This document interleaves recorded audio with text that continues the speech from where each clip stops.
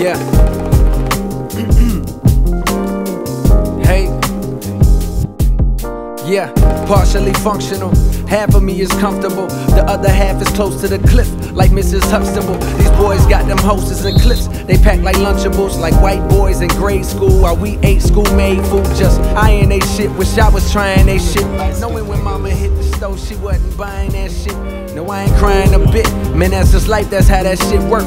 You reach your hand to fire, you pull it back when you get burnt. Gotta learn when you get hurt, even if it's with Cupid. He beat you and you went back, you's officially stupid. Oh yeah, I understand that's your man, you had a plan. You've been together for some years, you sticking with him for the kids. So you overlook the tears, but we both know that's a bad look. Cause 20 years from now, your daughter probably get her ass whooped. Look, if this too deep for the intro, I find another use.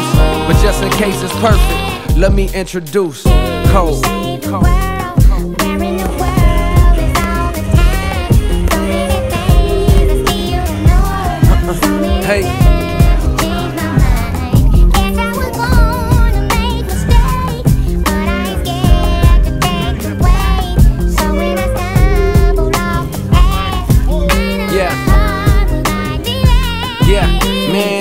Too deep for the intro? If so, I find another use.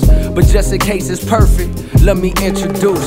It's cold. I had a dream and so I made a move. A ill ass nigga who just so happened to stay in school. Still rap for hustlers and motherfuckers that hated school. Said that's for busters, then heard my shit and I made it cool.